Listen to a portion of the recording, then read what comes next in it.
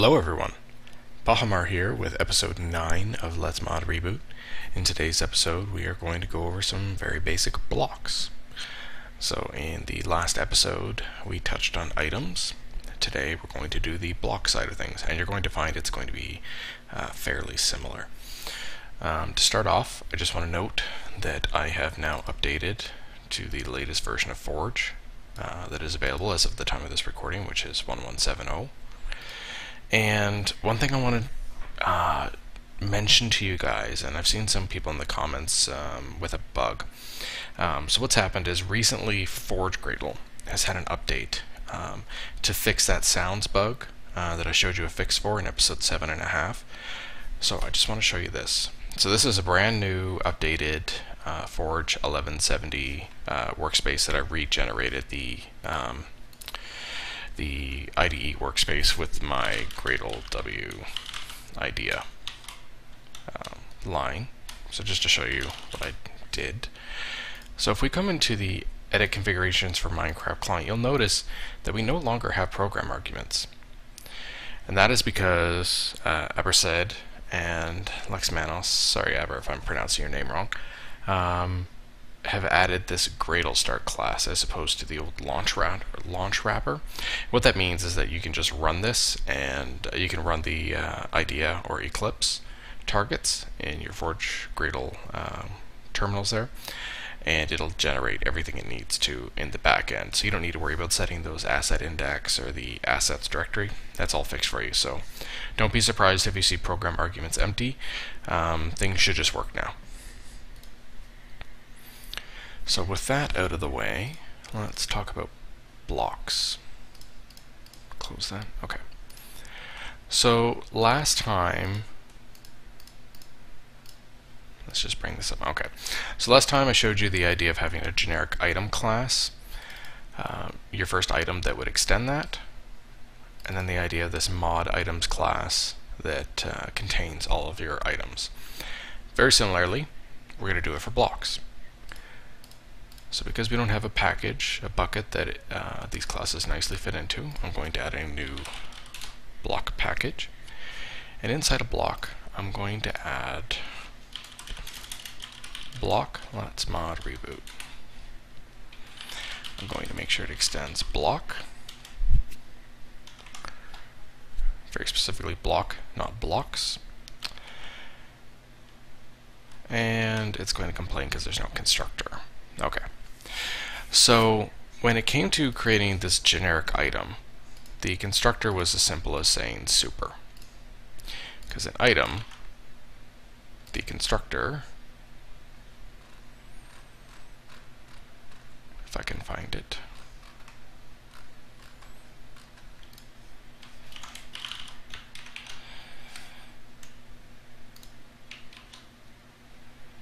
Okay, I can't find it very quickly. The constructor for item doesn't take any parameters. However, for block, it does. Let's see, block.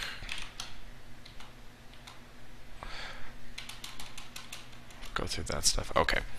So block actually takes a material as its uh, parameter. I'm going to show you something I like to do differently here. Okay.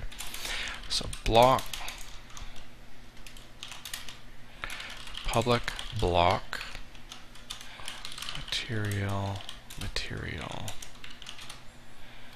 super material. We'll just import that. And I should actually name the constructor appropriately. So here's our constructor. Block LMRB, it's going to take in a material parameter, and it's just going to call the super to create the block here. So what is material? Material is the different things that blocks can be made of.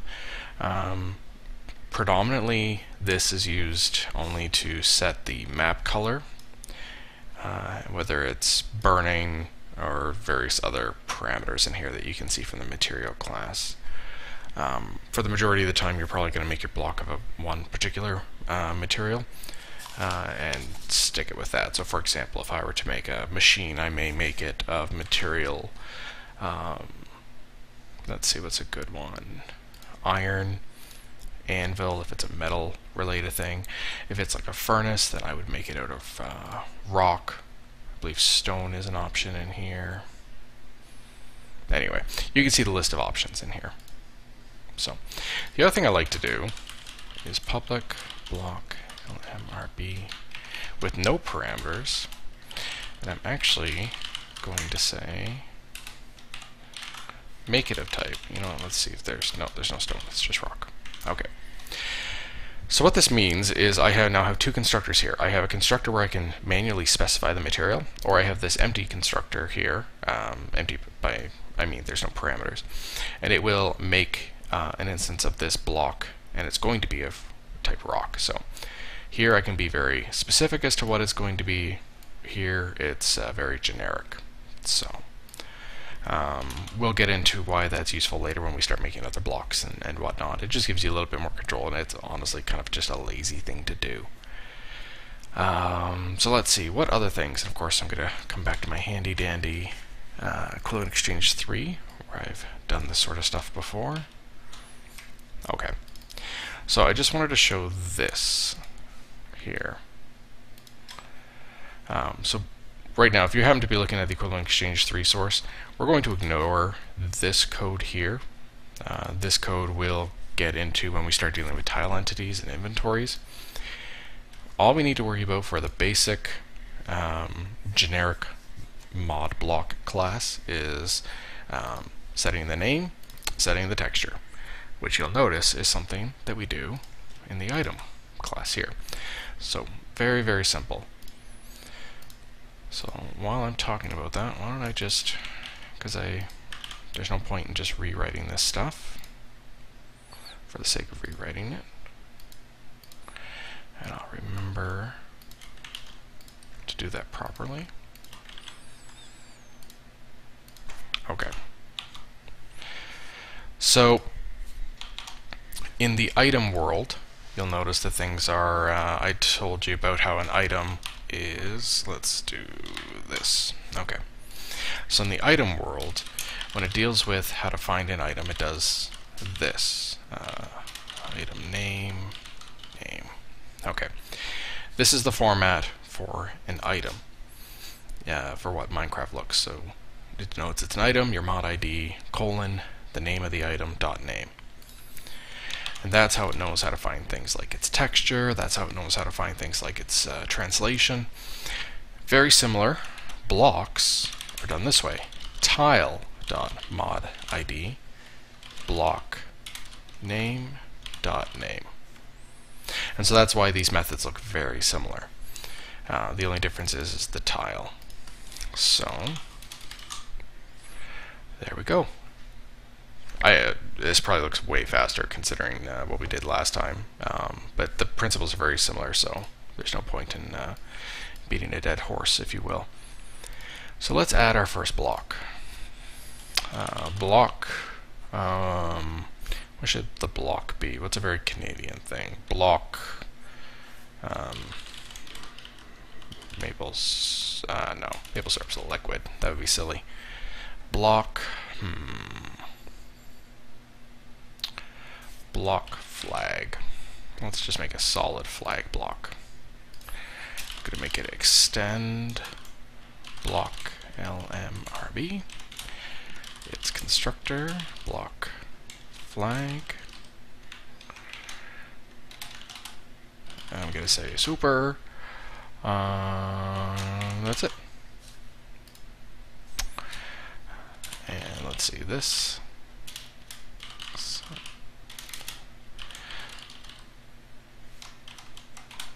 Okay. One thing I want to touch on here for setting the name. So I'm doing something very simple here, similar here.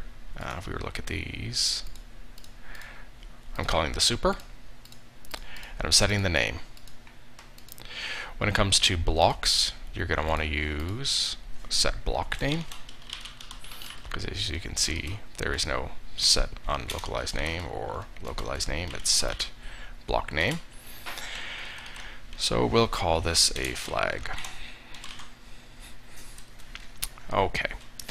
So, similar to last time, now we need a texture, so I'll be back in a moment with the texture.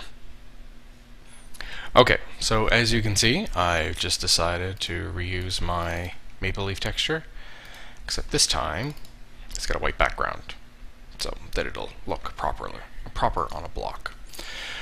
So let's see, I think all I need to do now is add the localization. So tile, let's mod reboot flag.name equals Canadian flag of awesomeness.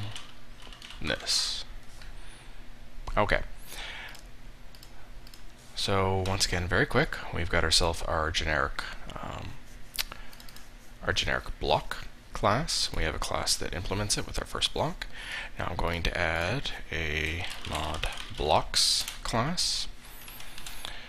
Public static. Let me just bring this up for comparison. So you remember here, we create an instance of the of the item, and then we register it. So we are going to create a instance of the block.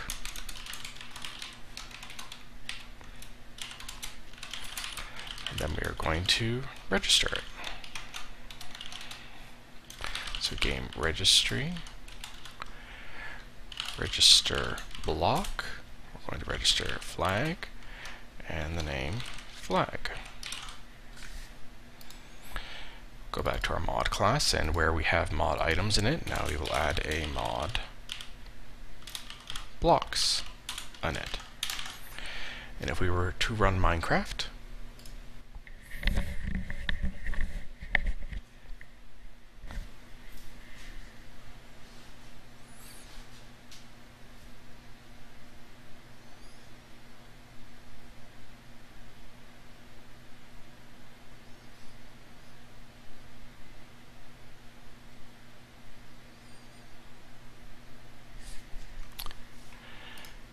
we load up our world here. And if I were to use that give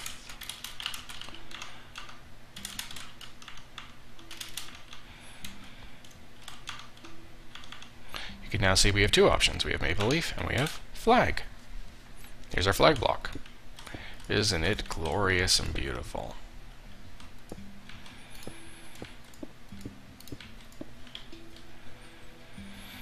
Here's what I want to let's see, let's get a map.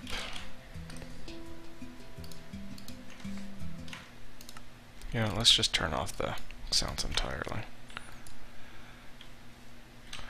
What I want to show you, okay, you see that line of gray that's forming up? Those are blocks there, and that is because we said they were of material uh, rock. If they were to be any of the other materials, you could control what color they are. But that's really, truly um, the biggest thing. Because uh, you can over always override whether or not these are um, uh, flammable and, and such like that. So that is really all we need to get our very first basic blocks in the world. They don't do anything. They're just textured blocks. Um, but why don't I show you a couple other things you can do. So with items, I didn't really touch on this before. Items, uh, you, for example, can control. If you ever want to find out what you can control, always look at the parent class. So item. Uh, in here you can control the max stack size. So I saw one person asking how could I say that the max stack size is only one? Well, for your item here, you would say something to the effect of this max stack size equals 1. And now if you were to have multiple leaves, they wouldn't form up into one collated stack. They would actually be a whole bunch in a row. This is how you get things like tools to not stack. Uh, same as saying what the maximum damage is, so that's how many uses it has. That's how its durability is determined. For blocks, you control things such as... Uh, let's actually look at some of the Minecraft blocks. Uh, let's do that. Okay, so here is, this is actually all the vanilla blocks being registered. So here you can see things they set. So for example, you can set the hardness. So that is uh, basically how hard it is to break the block. You can set the resistance. That is how resistant it is to explosions. You can set the step sound. Uh, so that's the sound it makes when you are walking over it. As well as then uh, you can set the block name and uh, I guess I should show you this set block texture name which is um, set block texture name. Uh, for simplicity uh, just set it to the same name as the block itself. So this just tells Minecraft this is the this is the the texture name for the block that is, let's see, other than that, you can set the creative tab, and we're going to go over creative tabs in episode 11. Uh, that's actually a very simple um, episode. But this is your basic block setup.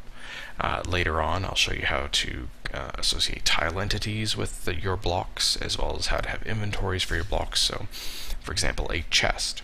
Um, and actually, really, I should explain how tile entities are related to blocks, because you may be jumping ahead. So a tile entity is simply a block that has more information saved to it.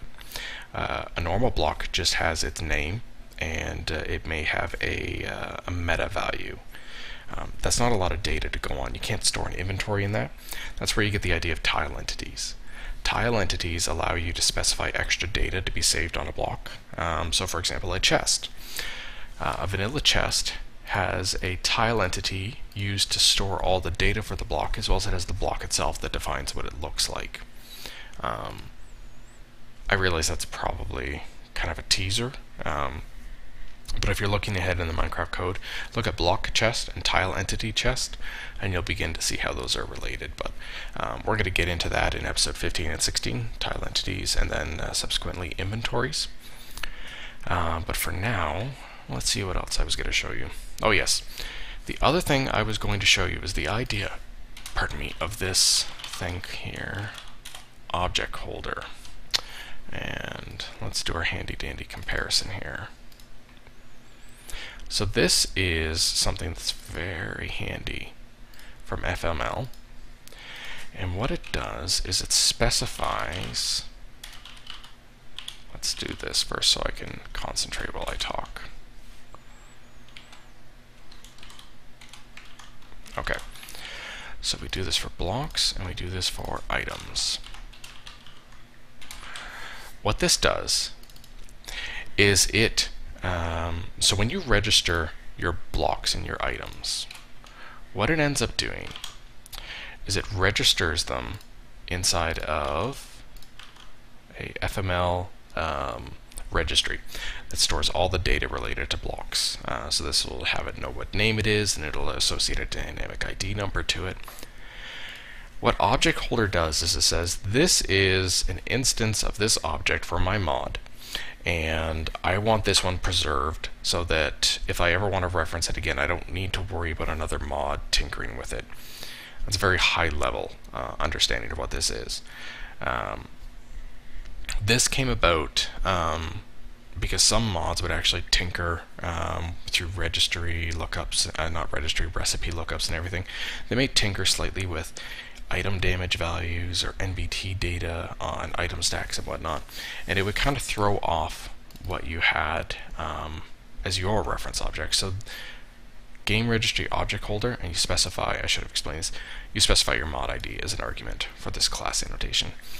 That says to FML, okay, these objects are mine.